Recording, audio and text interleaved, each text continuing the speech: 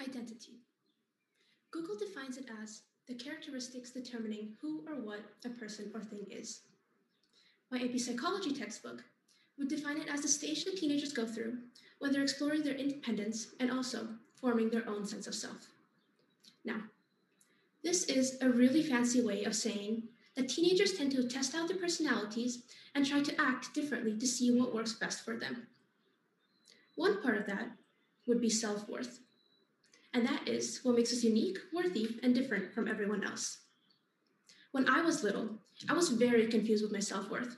Who was I as Anishka? Am I defined by my grades, my looks and personality, or even my culture? I found that this wasn't the only case with me growing up. Every single kid has a struggle with trying to find their identity as they get older.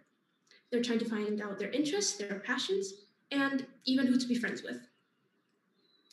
A huge factor of that would be environmental influences.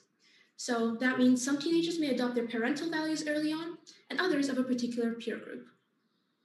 All in all, children will be trying to change themselves to fit in. But there is a problem with that. Sometimes we try to fit in too much. We try to put so much pressure on ourselves to conform to everyone else that we collapse.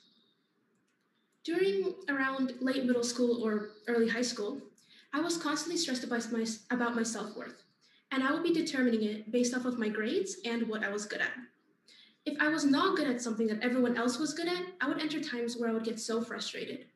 I would be disappointed about why I wasn't as good as this person at a hobby or why my grades weren't as high as this other person's. And some questions that many people constantly ask ourselves are why couldn't I get better grades when they are the best of it? Why am I not as good as them at something? How could they get so successful when all I could do is this? we still occasionally still ask ourselves these questions.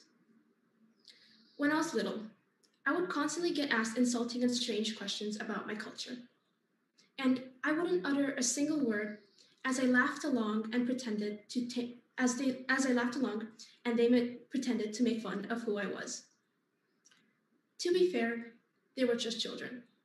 And as children, we didn't know better on how to respectfully ask questions. I would start to hide myself. I would lie about my family's traditions, what I stood for, and even what I ate. I got so accustomed to it that when I went back to India for the summer vacations, my hometown would be so foreign, and I would feel like an outsider. Now, because I'm Indian, I used my culture as an example. But I have noticed that many kids find hard to fit in just because of the lack of cultural awareness and, of course, their own identity. I went from overthinking and caring too much to realizing that in the end, my self worth is not based on my grades or how much I'm like other people. And to be completely honest, it took me forever to realize this, and I'm still obviously not perfect. Now, during the later years of my high school, again, I started to realize it doesn't matter what they're doing, as long as I'm showing growth as an individual. After all, this is what makes me unique, and this is what makes me different. Kids don't need the extra pressure of unhealthily comparing themselves to others, as growing up is hard enough. We have all of these uh, academic pressures that schools put onto us to get good grades, maintain after school activities, and even have a social life. My identity isn't something that you could label into one sentence, but it's a combination of a multitude of factors weaved into each other. As Anishka, I could be my cultures, my passion, my personality. I could be all of those things or none of those things at all. I could be something completely different than what I perceive myself to be. But the important part is, I stopped comparing myself to others and I started embracing myself. Now, if I could change one thing about my childhood, is that I should have realized this way sooner. I should have not cared about every single part of people's opinions or expectations in early high and middle school.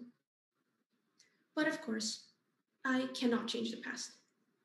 So all I can do is stay true to myself as I'm experiencing the challenging world. Thank you.